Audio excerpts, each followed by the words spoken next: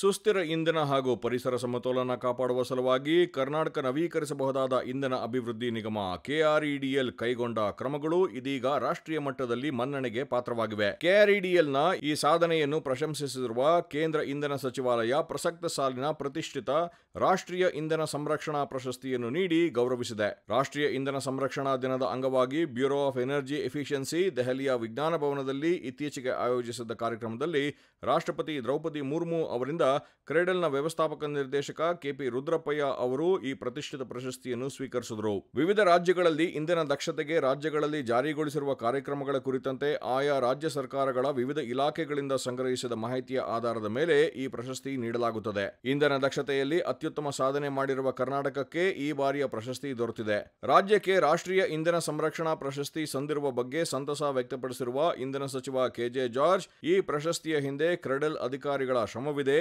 ಅವರಿಗೆ ಹೃತ್ಪೂರ್ವಕ ಅಭಿನಂದನೆ ಸಲ್ಲಿಸುತ್ತೇನೆ ಎಂದಿದ್ದಾರೆ. ಹವಾಮಾನ ಬದಲಾವಣೆ ಮತ್ತು ಜಾಗತಿಕ ತಾಪಮಾನದ ಸವಾಲುಗಳನ್ನು ಎದುರಿಸುವಲ್ಲಿ ಇಂಧನ ಸಂರಕ್ಷಣೆ ನಿರ್ಣಾಯಕ ಪಾತ್ರ ವಹಿಸುತ್ತದೆ. ನಮ್ಮ ಇಲಾಖೆಯು ಇಂಧನ ಸಂರಕ್ಷಣೆ, ಸ್ವಚ್ಛ ಮತ್ತು ಹಸಿರು ಇಂಧನ ಉಪಕ್ರಮಗಳಿಗೆ ಒತ್ತು ನೀಡುತ್ತದೆ. ಇಂಧನ ಸಂರಕ್ಷಣೆಯ ಬಗ್ಗೆ ಅರಿವು ಮೂಡಿಸುವುದರ ಜೊತೆಗೆ ಇನ್ನೂ ಹೆಚ್ಚಿನ ದಕ್ಷತೆ ಸಾಧಿಸುವ ಬಗ್ಗೆ ಗಮನ ಹರಿಸಲಾಗುವುದು ಎಂದು ಸಚಿವರು ತಿಳಿಸಿದ್ದಾರೆ. ಇಂಧನ ದಕ್ಷತೆಯ ನೀತಿ ಅನುಷ್ಠಾನದಲ್ಲಿ ಕರ್ನಾಟಕ ಮುಂದಿದೆ. ಇಂಧನ ಸಂರಕ್ಷಣಾ ಕಾಯ್ದೆ ಎರಡ್ ಸಾವಿರದ ಒಂದರ ಅನ್ವಯ ಇಂಧನ ಕ್ಷೇತ್ರದಲ್ಲಿ ಸುಸ್ಥಿರ ಅಭಿವೃದ್ಧಿಯ ಗುರಿ ಸಾಧನೆಗೆ ಶ್ರಮಿಸಲಾಗುವುದು ಎಂದು ಇಂಧನ ಇಲಾಖೆಯ ಅಪರ ಮುಖ್ಯ ಕಾರ್ಯದರ್ಶಿ ಗೌರವ್ ಗುಪ್ತಾ ಹೇಳಿದ್ದಾರೆ. ಮತ್ತು ಮೂಲಸೌಕರ್ಯ ಪ್ರಶಸ್ತಿ ಲಭಿಸಿರುವುದಕ್ಕೆ ಅತೀವ ಹರ್ಷ ವ್ಯಕ್ತಪಡಿಸಿರುವ ಕ್ರೆಡಲ್ ವ್ಯವಸ್ಥಾಪಕ ನಿರ್ದೇಶಕ ಕೆಪಿ ರುದ್ರಪ್ಪಯ್ಯ, ಒಳ್ಳೆಯ ಕೆಲಸ ಮಾಡಿದಾಗ ಅದನ್ನು ಗುರುತಿಸಿ ನೀಡುವ ಪ್ರಶಸ್ತಿ ಮತ್ತಷ್ಟು ಕೆಲಸ ಮಾಡುವ ಪ್ರೇರಣೆ ತುಂಬುತ್ತದೆ ಎಂದು ಹೇಳಿದರು. ಇಂಧನ ಸಂರಕ್ಷಣೆ ಮತ್ತು ದಕ್ಷತೆಯಲ್ಲಿ ಇಸಿ ಮತ್ತು ಇಇ ರಾಜ್ಯ ಮುಂಚೂಣಿಯಲ್ಲಿದೆ. ಐದು ವರ್ಷಗಳ ಅವಧಿಯಲ್ಲಿ ಐದು ಪ್ರಮುಖ ವಲಯಗಳಲ್ಲಿ ಸುಮಾರು ಏಳ್ನೂರ ನಲವತ್ನಾಲ್ಕು ಮಿಲಿಯನ್ ಯೂನಿಟ್ ಇಂಧನ ಉಳಿತಾಯ ಗುರಿ ಸಾಧಿಸಲು